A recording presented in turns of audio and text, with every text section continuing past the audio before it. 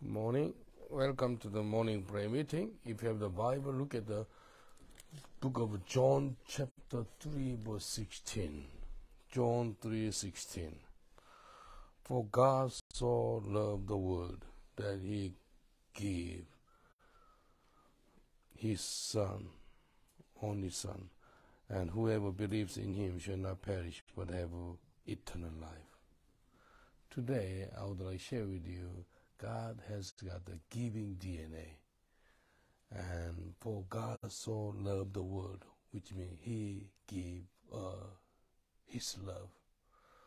He gave His love, and God gave uh, His one and only Son, or give us Son Jesus. You know, He give and give and give.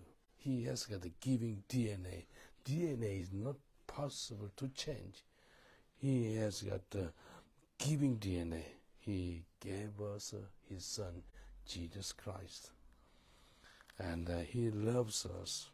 This is His character. He give and give and give. But for us, we want to take it, take it, take it. This is our own problem.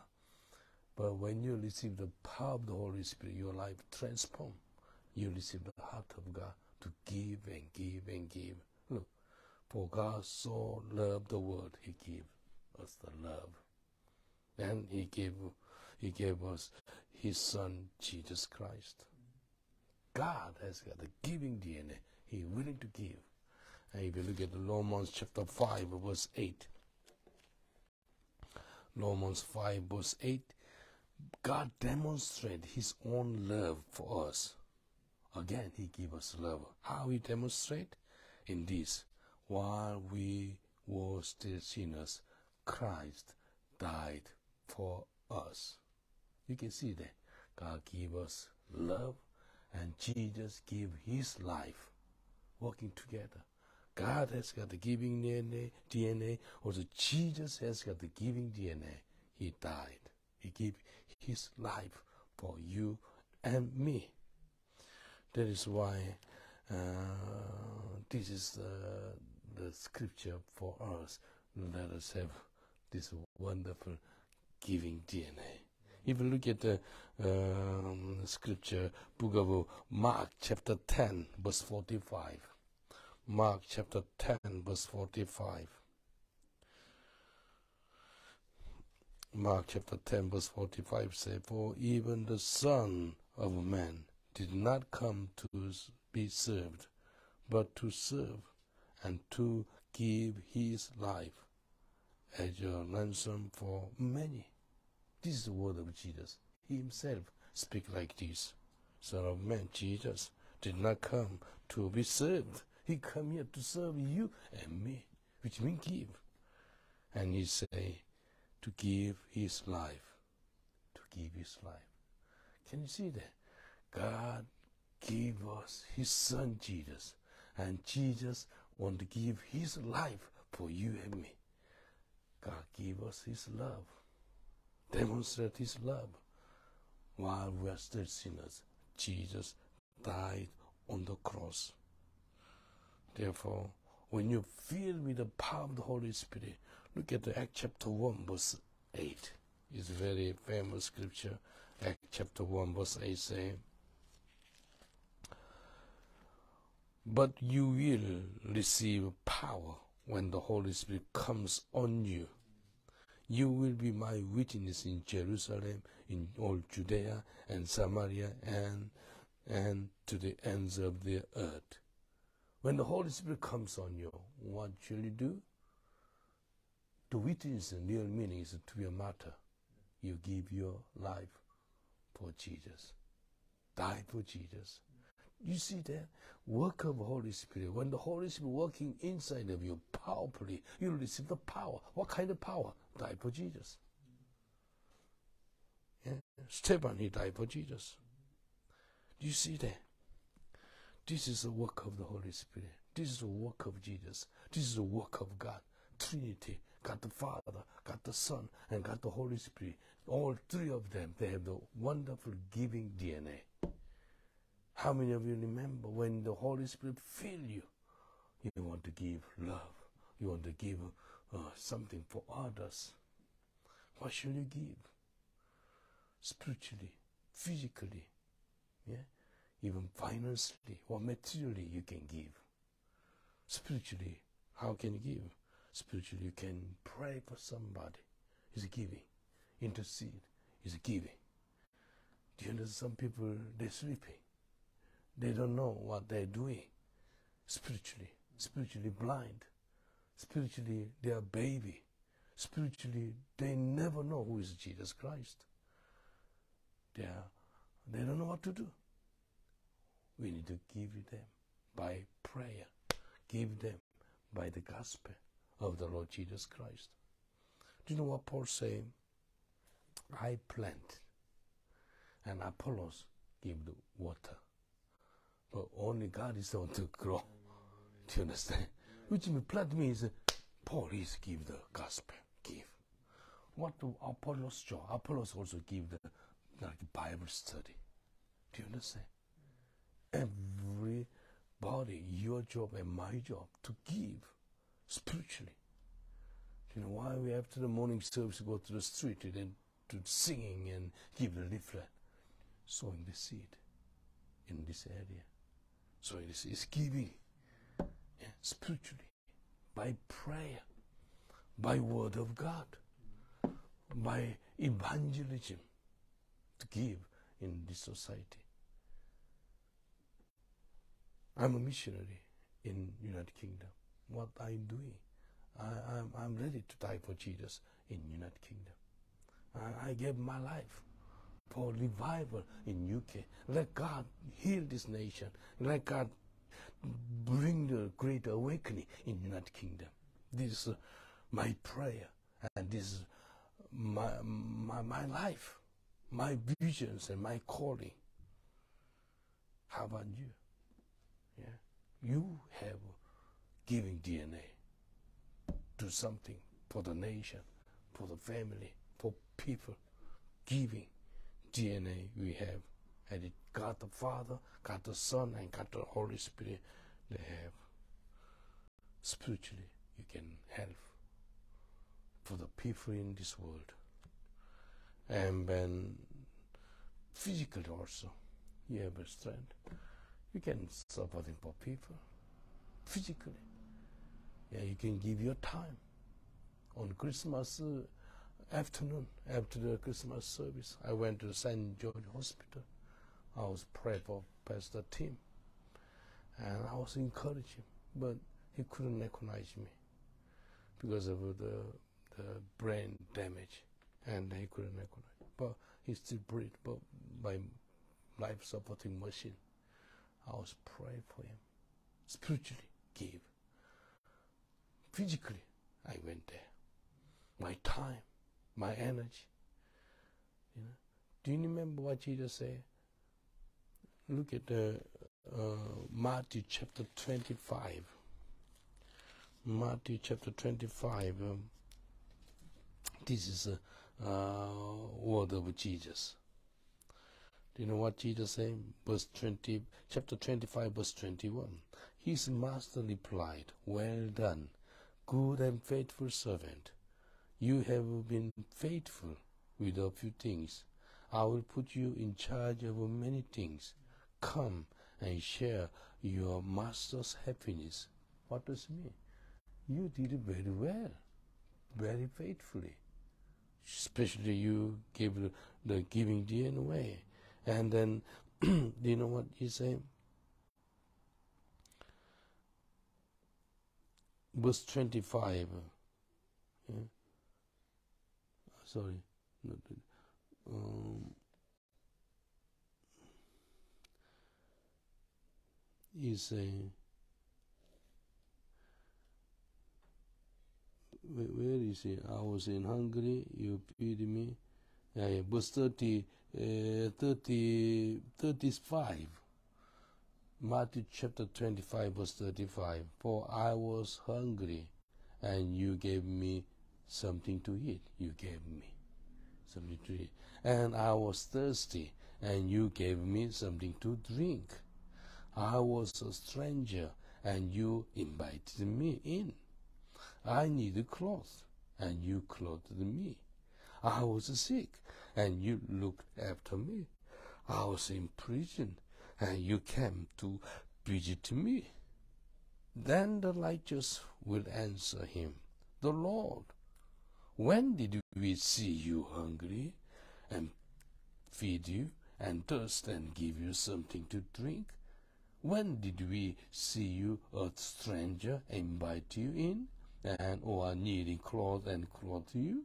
When did we see you sick or in prison and go to visit you? The king will reply. King is actually Savior of the world, Jesus. King Jesus say, I'll tell you the truth. Whatever you did for one of the least of these brothers of mine, you did for me. You see there? When I was hungry, you gave me some food. When I was thirsty, you gave me some water to drink. When I was naked, you gave me some cloth to clothe me. When I was sick, you looked after me. When I was in prison, you visit to me. You can see the prison ministry. You can see the hospital ministry. We can see the welfare ministry, feeding. Yeah, you can see all these things, which mean give. Do you understand? Give. Jesus said, Well done. You did for me, not to for somebody. Actually, you gave something for somebody. Actually, you did to me. Do you understand? When Saul met Jesus in Damascus on the street, and do you know what Jesus said to Saul? Saul, Saul, why do you persecute me? Actually, Saul never persecuted the church. He just killed Stephen. He just persecuted Christian. But Jesus said, You persecuted my people. You persecuted the church. You persecuted me. That is what, what Jesus said. You persecuted me. Saul, Saul, why do you persecute me? He never persecuted Jesus directly. You see, if you feeding somebody, especially in Christ Jesus, you did it to Jesus. Finally, one more scripture you can see them. Act chapter uh, 20, Act chapter 20, verse 34 and 35. You yourself know that this hand of mine have supplied my own need and need of my companion. In everything I did, I showed you that by this kind of hard work, we must help the weak, remembering the word the Lord Jesus Himself said, It is more blessed to give than to receive. Yeah, who are more blessed? You are more blessed to give than to receive. When you receive, how do you feel? You feel good. You feel blessed, yeah? But when you give, you are more blessed. This is the word of Jesus. It is more blessed to give than to receive. I'm willing to give and give and give. By the grace of God, through our church, do how many 10 kilos of bag of rice we bought it last 26 years? Over 25 years, we blessed other churches, other Christians and missionaries and pastors. Over 5,000 bag of 10 kilos of rice. 5,000. Even today, I collected around 50 bags of rice. I don't telling you what I do, what we doing, know. What I'm saying, what God has done for us. He's giving DNA come upon us. We just do it. Just do it. Of course, we pay the price. Jesus came to this world to be not served, to serve you and me. What does it mean? If you if you here yeah, to serve somebody, you are the one to pay the price. Tired, physically, yeah, emotionally, sometimes uncomfortable, but you're willing to give. It's good news to give, good news to serve, good news to supporting for somebody. How many understand what I'm talking about? This is not my word, it is the word of God. If you look at the, the Bible properly from book of Genesis to book of Revelation, you can see the character of God. He gave and gave and gave. You can see the heart of Jesus. He gave his life. He gave. But if you are a genuine, mature, born again Christian, I'm here to serve you. Do you want to take it? Take it. Look at Abraham. He said to his uh, nephew, Lot, if you take it left, I'll go to right. Take anything good. Do you understand? This is the heart of God.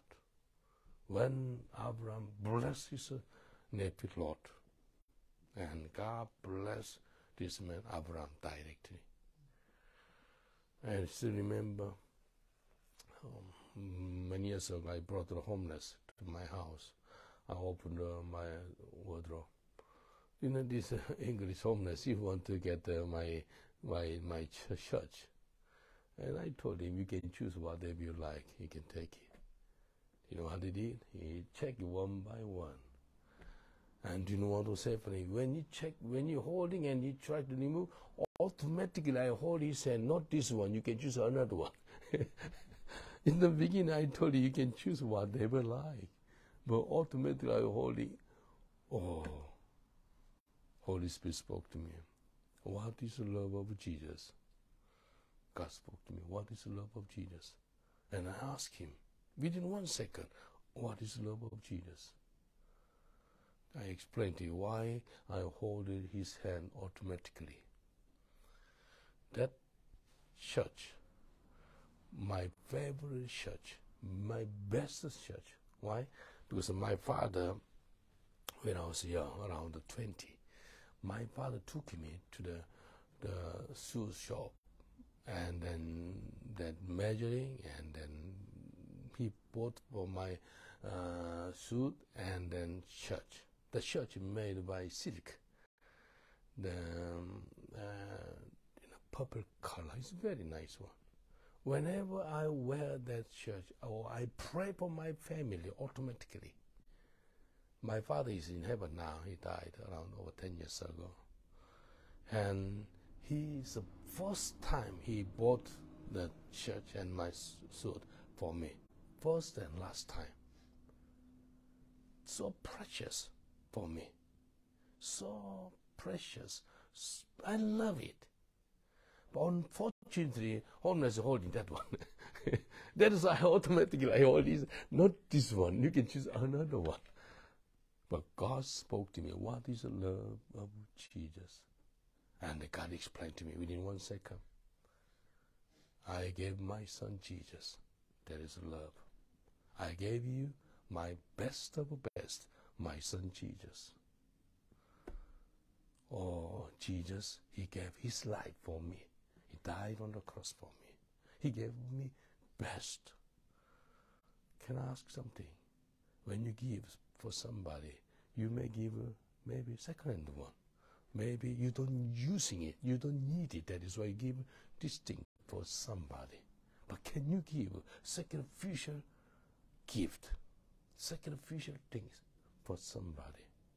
That is the love of Jesus. For me, I love that the, the church.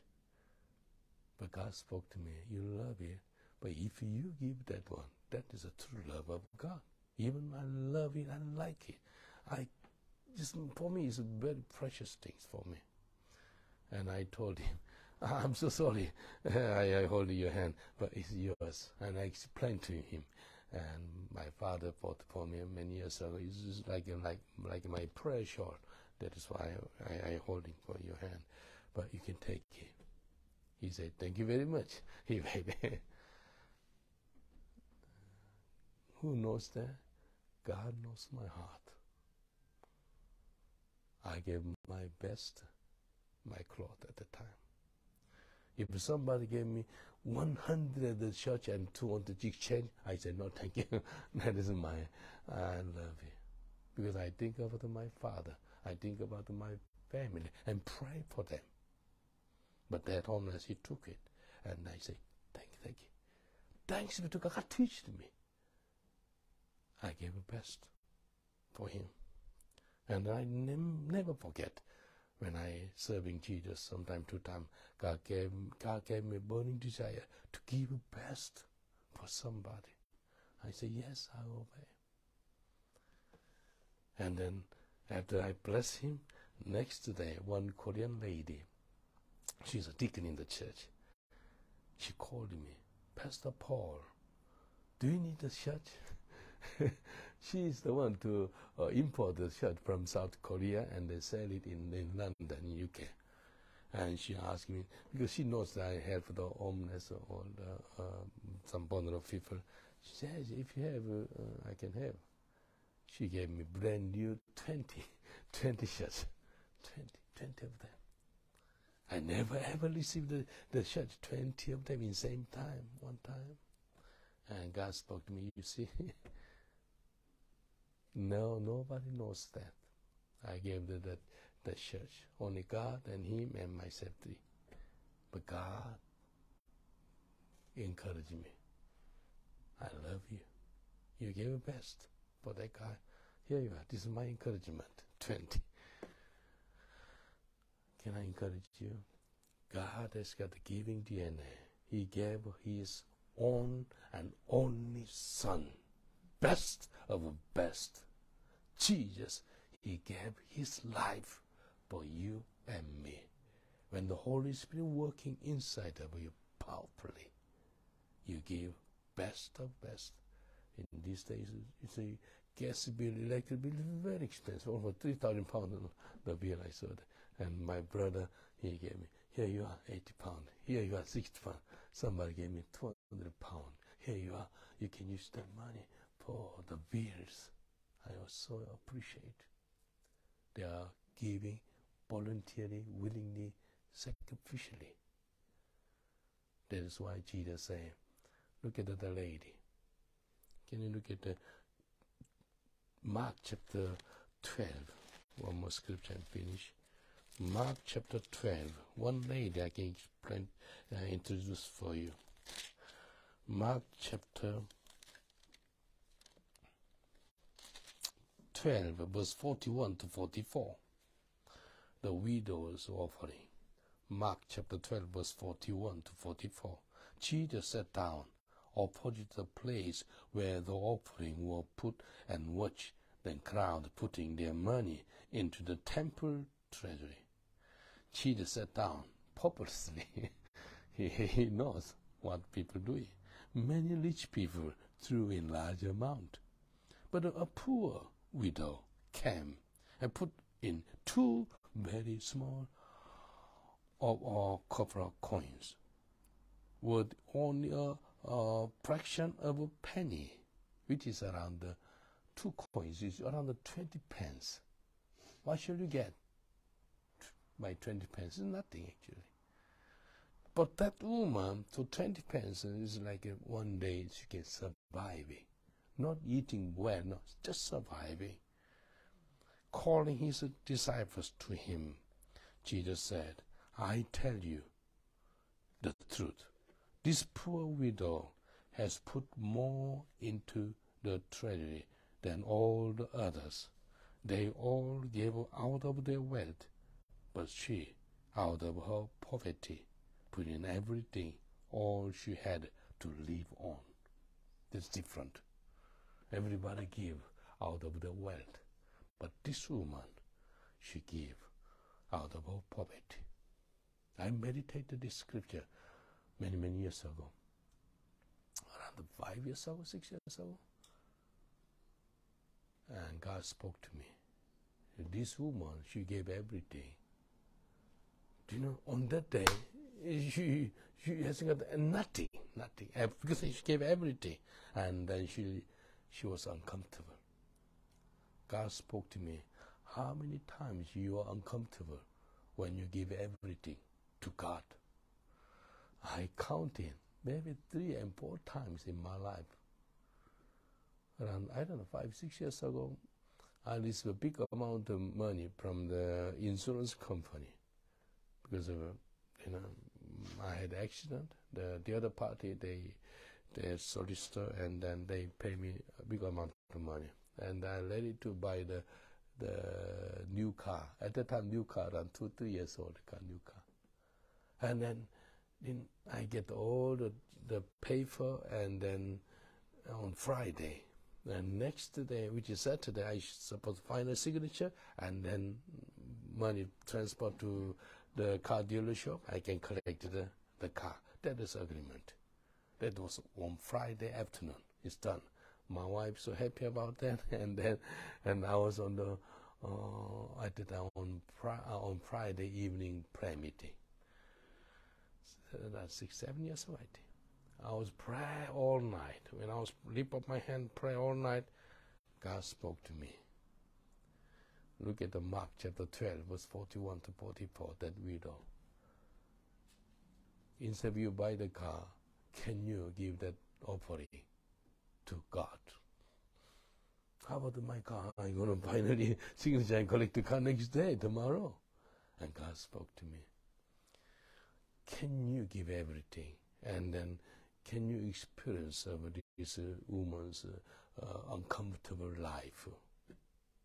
And then I, I listen what you say. I meditate how much I was uncomfortable when I give everything to God. And then I come back to home. I, I share with my wife. God spoke to me, don't buy the car, give everything to Almighty God. And she agree. She happy about that. You know, we, we don't worry about all these material things. And we tear up the paper. And then I told them, sorry, I couldn't buy it. And then I gave everything. Not only I gave everything, anything in our bank, withdraw all the money.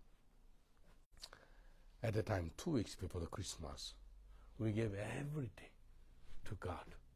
Do you know what happened?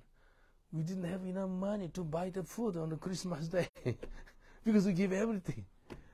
I and my wife would say to each other, now we are uncomfortable because we gave everything. Nobody knows. We are. Nothing. Do you know what happened during that Christmas time? When our congregation gave me Christmas card, do you know what I saw? I saw the 70 pound inside. I saw the 100 pound. I saw the 150 pound. People, they gave me offering. Nobody knows. I was uncomfortable because I gave everything. Nothing. Zero account. And then I was so encouraged. And then God, God just, you see, you gave everything. That woman, she gave everything. But I believe that. Didn't God look after her? Same thing. God looked after me. You know, because of that big amount of offering to the Lord, we move into this building. Did you know that? I says, uh, we need a minimum over 50,000 pounds to move in here. I didn't have money, but I gave the all offering. Our church didn't have money. Give over 50,000 offering and get the, this place. Otherwise, we never come here. Somebody give the sacri- sacrifice offering. God looking for pastor first. yeah, yeah. If I'm a true pastor, genuine minister in the church, I need to give the sacrifice first before I say to, to Nana, I'll do first. And then over here. And around two months later, I received another letter from from uh, from insurance company. Do you know what they say? They made a mistake. They want to give him more money. You know? They get a big amount of money. I, I bought a brand new car from factory. Can you imagine? I thought two, three years old car, but God saw my heart and they gave me a brand new car. I don't talk about the material things now. I talking about the giving DNA. Look at this old woman, widow, poor widow. She has got the giving DNA to give willingly, voluntarily, joyfully. How about you? I speak to myself. I give my life. I'm willing. to die for Jesus. Let's pray. Father, we thank you. You have a giving DNA. Even your son Jesus also. Even Holy Spirit as well. And we receive the Lord Jesus as our personal Savior. We have a giving DNA. We can give and give and give spiritually, physically, and financially, materially. You can give for your kingdom, for your glory, for the people in this world. Many people waiting for uh, love from us. We can serving them. You can bless them. You can and supporting for them. You can helping them by your grace and your mercy. Lord, we thank you. Give us more grace to bless others. In Jesus' name we pray. Amen. Keep on praying, praying for mission to Sweden on 8, sorry, 16 to 21st of January. And our Bible college students to go there to preach the gospel for Swedish people. And, yeah, 16 to 21st of January.